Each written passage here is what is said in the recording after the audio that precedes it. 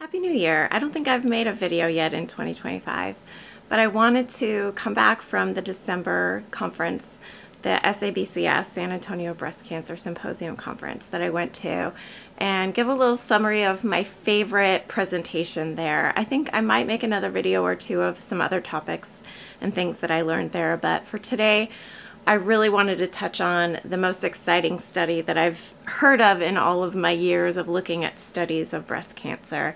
It's a study that was still open when I was diagnosed, and I really wanted to be admitted to the study, and I wasn't because my DCIS had progressed a little bit too much. By the time I had a biopsy that actually detected it, I wasn't eligible any longer, but I still want to teach others about this study, not because you can actually enter it anymore. I think it's closed, pretty sure it's closed. But I think you'll really value the story behind it and following it to see what the longer term results are. This was the two year mark, so they showed up this year just to give preliminary findings. And so it wasn't like a huge, exciting revelation because two years is not very long for any study to show findings. It's not long enough, really, to get too excited about anything. And they weren't claiming that they had found anything too exciting, but they just were showing up to give an update and to tell people about it because at SABCS is kind of where you show up to tell people about exciting studies. So, COMET stands for Comparing Operation or Surgery to monitoring with or without endocrine therapy. So let me unpack that first. Um, it's looking at two different subject groups. They're randomized, so this is a really high quality trial. They're randomized to two groups. One is active monitoring and one is surgery uh, to follow low grade DCIS. So this is not advanced uh, active DCIS. This is the slower moving, more suspicious, but not scary DCIS. So it's the 50% of us women that get diagnosed with DCIS and have a biopsy, we are graded in the lower, lower grade. Uh, it's kind of like an abnormal cell more than an actual potential carcinoma is the thinking behind it. And the two groups, both of the groups can or may choose not to engage with endocrine therapy. So this trial opened in 2017, it closed in 2023. In 2017, endocrine therapy was not very commonly given to folks who were at risk of breast cancer or DCIS, um, but it was an option. And so I think they designed the trial knowing that endocrine therapy would become more and more popular for this kind of pre-treatment. And it definitely has. So it's good that they designed the trial to include the possibility of endocrine therapy. So they set up this study so that folks would have the choice to take endocrine therapy if they would like to, and like many of us do, some of those patients would end up dropping out of their endocrine therapy because of all the side effects of that therapy. Which I'm really glad for. I'm glad that they um, set it up to capture all of those different populations. The fact is, DCIS is super common nowadays. Over 50,000 women each year get diagnosed with DCIS. And the reason for this study is that they have found through doing autopsy studies, especially in Europe, that some people, especially with early grade DCIS, the lower, less threatening, less scary kind, those people can live on the rest of their entire lives with DCIS intact in their ducts and their breasts without any harm, uh, without any cancer growing. Uh, I don't know how they established that. I haven't looked into the details of that study. The main one was done in the UK. But it was established that a woman who in her 40s or 50s got DCIS in many cases could live to be in her 80s or 90s and die with the same DCIS intact without it growing or becoming invasive. Now, just the title of DCIS involves the C, which stands for carcinoma, which really scares a lot of patients that are diagnosed with this. When I was diagnosed with this, I had already looked into it and studied it a lot and understood that it is not that scary, especially in the early stages. I wasn't scared by it at all. I was probably one of those unique patients that didn't get scared by it. But like my recent podcast guest, Christina Miner, who is the host of her own podcast, Our Scar Speak, She tells in her podcast her story of hearing that word carcinoma when she was diagnosed with DCIS, which stands for ductal carcinoma in situ, which means ductal carcinoma that sits still in the duct. She heard the word carcinoma as part of her diagnosis and she thought, cancer, I have cancer. And after that, she couldn't hear anything else. She just knew that she wanted to get this cancer out of her breast. Well, other women who have looked into DCIS before being diagnosed with it, like myself, are not as much in a hurry to get rid of their breast tissue or sacrifice their breast, knowing that in England, a lot of women lived with this intact in their breast for the second half of their lives. And it didn't kill them, it didn't even threaten them. So doctors like Shelley Hwang, who has authored this study, this COMET study, were really interested in getting to the bottom of this because in the US we have an aggressive response to any DCIS, which most surgeons will say we need to do a lumpectomy or a mastectomy in response to DCIS. Dr. Hwang thought that was a little bit of an overreach. That was maybe a little too much to start taking women's breast tissue away when this diagnosis possibly was not a long term threat to them. So she wanted to look at that, and the best way to look at that is comparing surgery to active monitoring and over a long period of time looking at outcomes, looking at the threat, comparing the active monitoring to the surgery, and maybe even possibly the harms of surgery, I guess, is the implication. Although I don't think they, they have stated that anywhere, it's possible that um, the, the harms of surgery could be an element as well that might come out in the end. Now, this study is only scheduled to be spanning 15 years at this point. Hopefully, they will get permission from all the subjects in this study to follow them for much longer than that. I would like to see it last 30 or 40 years, ideally, because I am interested in the long term implications of monitoring versus surgery. But for now, they've just promised to study these women, follow these women for 15 years. So far, in the first two years of the study, they found that women who did get surgery in response to their diagnosis of early stage or low grade DCIS there was a 6% population that had invasive cancer as well that was unbeknownst to the person that did um, the pathology. So, pathology after biopsy will look to see if there's invasive cancer. If there's no invasive cancer, the diagnosis would still be DCIS, which is usually pretty visible without a biopsy. But once in a while, you will have a, a biopsy going in and you'll find DCIS and invasive cancer. Well, those who had surgery, some of them also found invasive cancer that had not been detected on the biopsy. And so the implication is that 6% of the active monitoring group would also potentially have invasive cancer as well.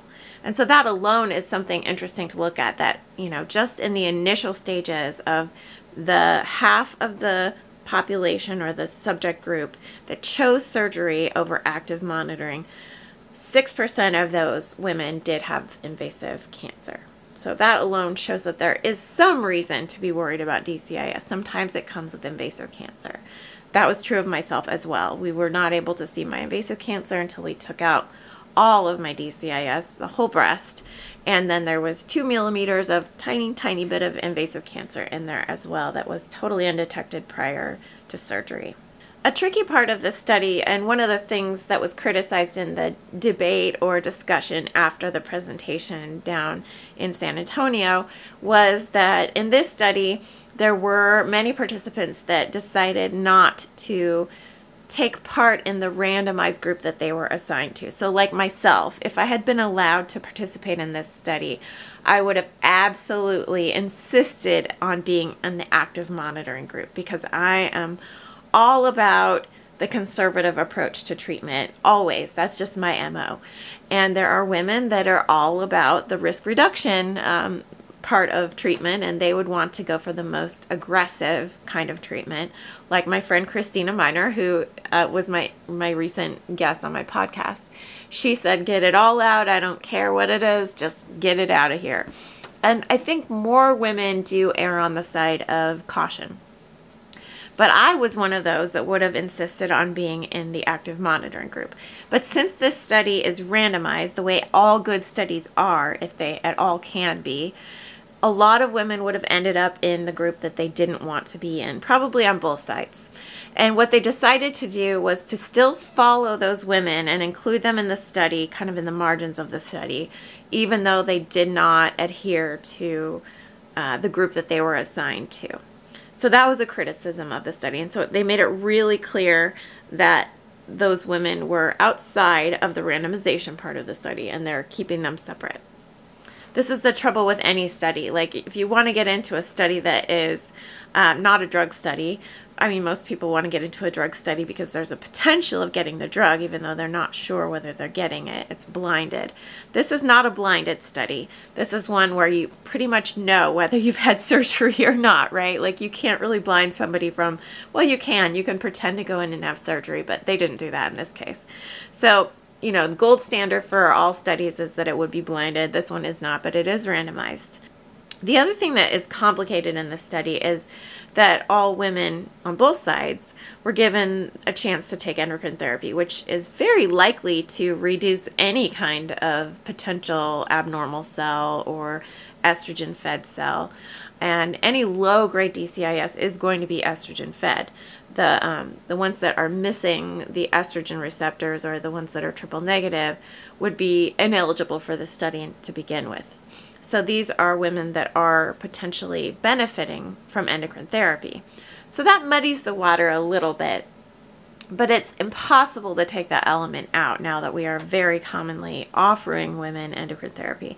I think the only really muddy area is really tracking whether or not they did take it long term and when they stopped taking it. So that'll be interesting to look at long term. So about a thousand women were recruited for this study and about half of them were in each group. So half of them have already had their surgery, uh, whether it was lumpectomy or mastectomy. They had their surgery to remove all visible DCIS and they'll be followed on that end of the study uh, long term, at least 15 years, and the other half of the women have not yet had surgery, and they may have surgery if their low grade DCIS progresses to higher grade DCIS, which typically they some of them will, and we'll see percentages coming out in the following years as they report out on their annual statistics and data that come out of the study. But in the end, we'll be able to see relatively clearly what the difference is and whether or not the women who did have surgery on the first year of this study really needed to sacrifice their breasts this early in their story. There's no questioning that some of the women with low grade DCIS will progress to higher grade. I mean, it's clear even at the beginning of the, the study, they found that 6% did progress even before surgery to invasive cancer. So there is that possibility, and no one's denying that. But as an overall practice, the world is watching to see whether or not surgery should be the first kind of response to a diagnosis of DCIS. And especially this low grade DCIS. I don't think there's any question that higher grade DCIS is threatening and it should be given surgery. Uh, if, if you're in that zone, which I was in, by the time they found a really good biopsy sample in me, I had already progressed to higher grade DCIS, and there was no question that surgery was the answer for me.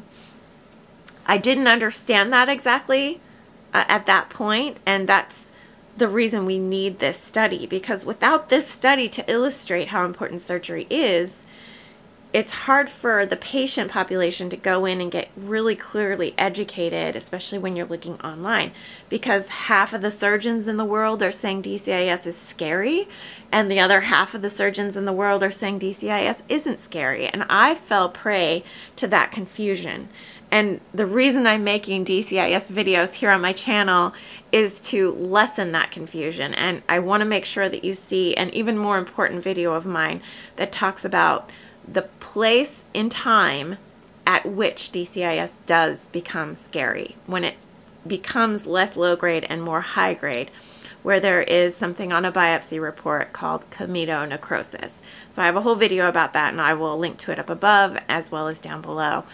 But there's a lot of confusion in the world and in the online space, especially If you look at Facebook groups about DCIS, half of them are saying it's a horrible thing. Actually, probably less than half of them. Most of them are saying it's a, not a problem at all and it's not cancer. Well, it's true. It's probably not right to say it is cancer, but it's also not right to say it's not cancer. It's this gray area. It's abnormal cells that are potentially cancer that could become cancer. And I think all the surgeons in the world agree on that definition. And the more they're studying things, they also agree on the fact that the comedonecrosis point is the point at which it becomes aggressive and dangerous and you need to get it out. But we, as patients looking online, don't always see that part of the story. And so this study has the promise to clarify that in a really public way. Hopefully, this study will get a lot of airtime with different surgeons, and all the surgeons will become united around what is really true about DCIS. And that's why I'm so excited. And this was my favorite study that was presented in San Antonio last year, last month in 2024. I am probably not the person to ask questions about this study. Uh, Shelley Hwang at Duke University is the person you would want to address your questions to. So I will not say, please come and ask me questions about this study. I will not have the answers to it. But I really encourage you to keep watching this study. Um, you know, save it on your bookmarks on, you know, Duke University's website, which I will link below in the show notes. And just keep in touch with me and keep watching my videos. And over the years, I will definitely be updating you on the data and the results found in this really intriguing study that I think is being done really well. A lot of reputable scientists showed up in December and gave Dr. Hwang a lot of kudos for doing this study very, very well. Um, some people that are highly respected in the breast cancer space. There were a couple that were also skeptical, of course, because this is a really controversial issue. But I think it'll be fun to watch over the years, and I can't wait till we get to that 15 year point and see what the final results of the study are. So I hope you'll be with me still then, and I hope I'll be with you still then here on YouTube. But follow the study in the meantime at the Duke University website. And I'll see you in my next video.